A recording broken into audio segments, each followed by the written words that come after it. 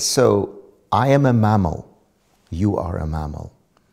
Everybody here in this room is a mammal, and possibly many people, if they are watching with you, are mammals. I'm very happy to be a mammal. Who wants to be a toad or a fish or a worm? We mammals are very successful animals. We mammals captured the whole globe. Wherever you go on this earth, you will see mammals. You will see them in the Arctic, you will see, in the, see them in the jungle, in the woods, and in the water. And wherever we mammals are, we are very successful. Why are we so successful? The reason is possibly very simple. We mammals are very smart animals. And this, the intelligence of us mammals is a function of our brain. And the mammalian brain is a very different one from the brains of birds, from frogs, from reptiles, and from fish. As you possibly know, only we mammals have a cortex. The cortex, and I would like to draw this to you, is a fantastic structure of our brain. You possibly know, I will show you this picture now, that if you look at a mammalian brain, this is, for example, the brain of a human person. And if you take a little bit, bit out of this part of the cortex, what you can see here is that this, part, that this cortex is divided in different layers, six layers altogether, and that there are different neurons specialized to different jobs in the cortex. And no other vertebrate has such a brain. The cortex is a fantastic machine because of one architectural feature. Look, I need now another color. I take red. All information comes in vertically. And every red line is one specific information that comes into the cortex. Vertically arranged so that each nerve cell along that red line receives the same kind of information. But each cell processes this information in a different way. So that when you see a specific color, a specific sound, a specific touch on your skin, it is analyzed in all details along the vertical dimension. And now comes the following point.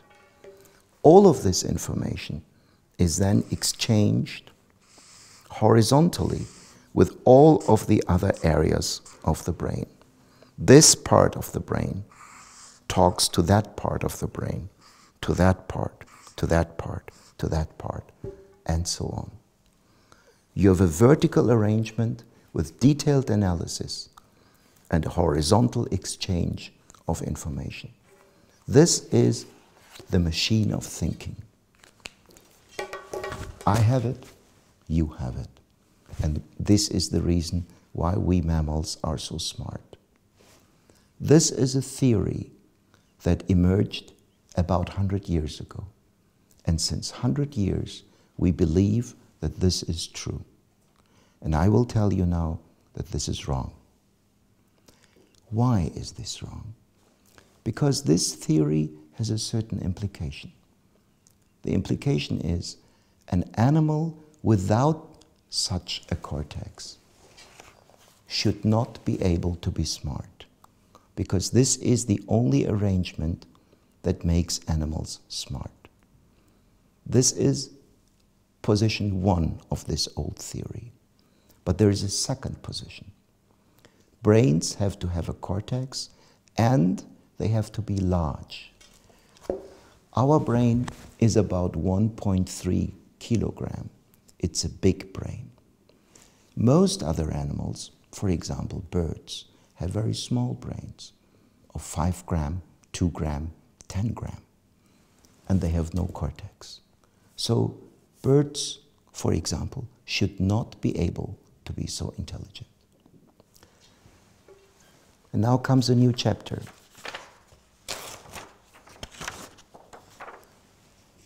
We have a problem. Birds are so smart as we mammals. Take, for example, crows and ravens. For example, ravens can plan into the future as good as chimpanzees do. They can combine information logically as good as chimpanzees do. Let's take another task.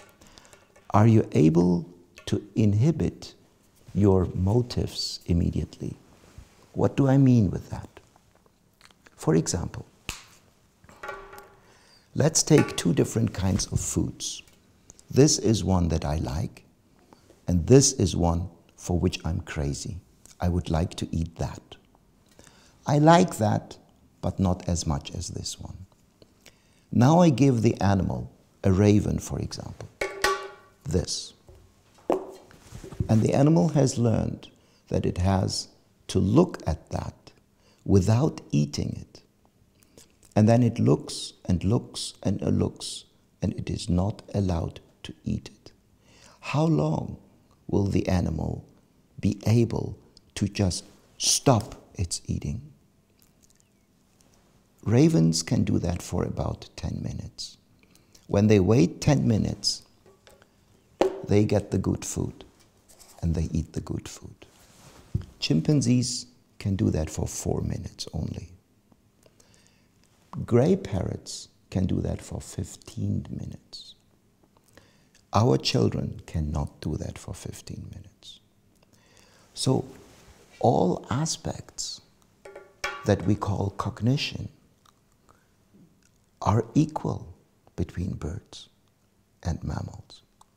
And if you take the top birds, parrots and corvids, you can see that they are as intelligent as primates. And now we are back to the brain problem. A raven has 15 gram of brain. 15 gram of brain usually even less, about 12.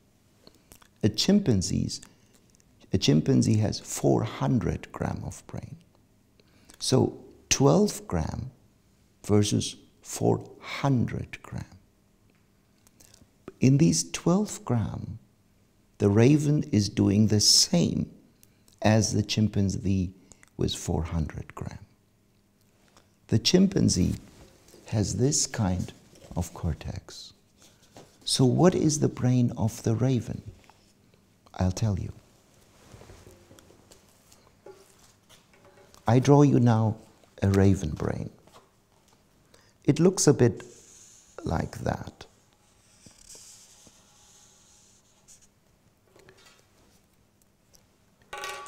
If we take out a little part of it, this is the raven brain, I will take out a part of it.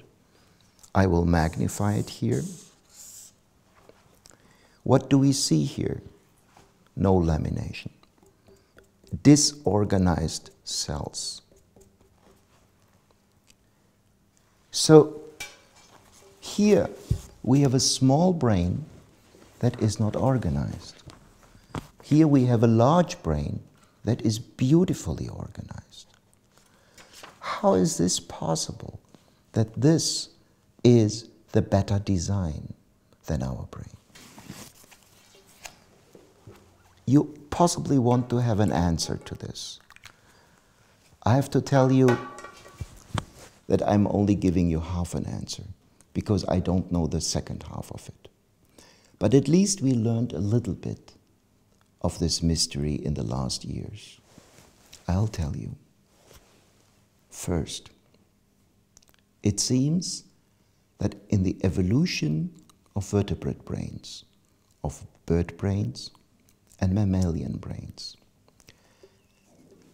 both groups, mammals and birds, started, I will show you here, with a primitive cortex with just three layers. We mammals doubled the numbers of layers.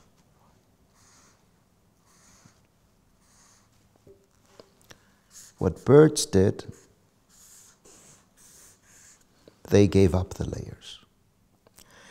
So we doubled the numbers of layers, they gave it up. Why did they give it up?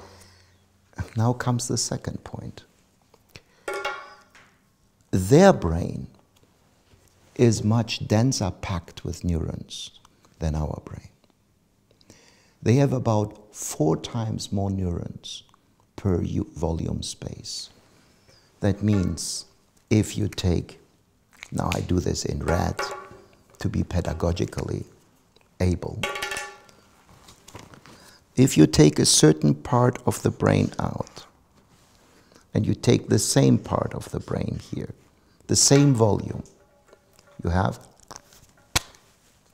excuse me for this,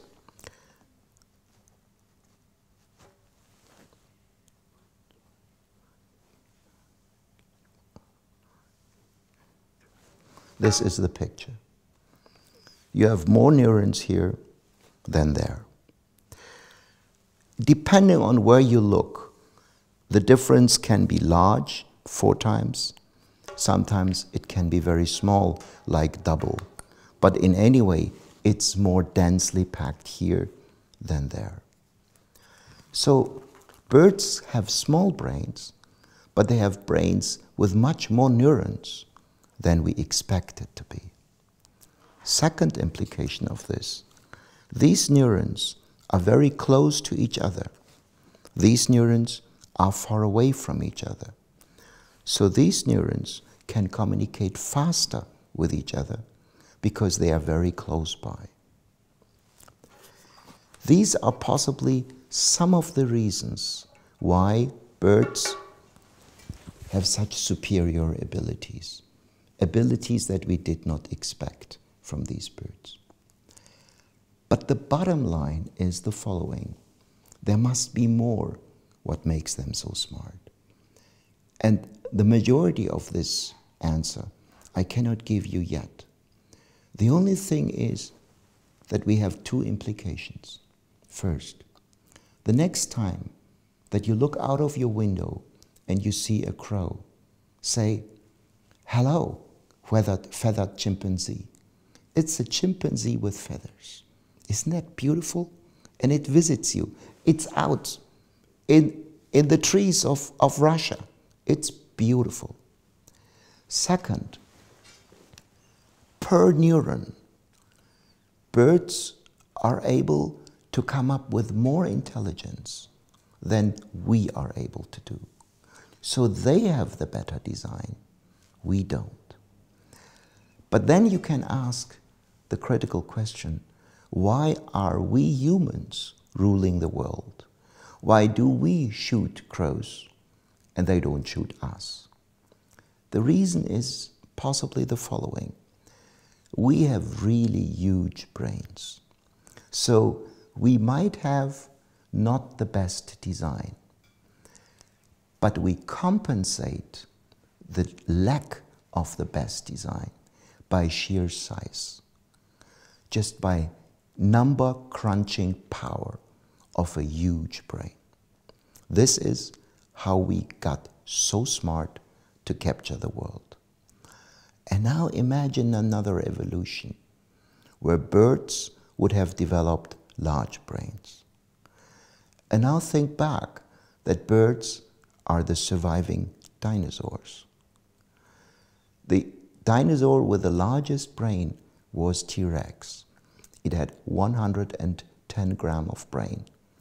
Maybe T-Rex was not so dumb as we usually think.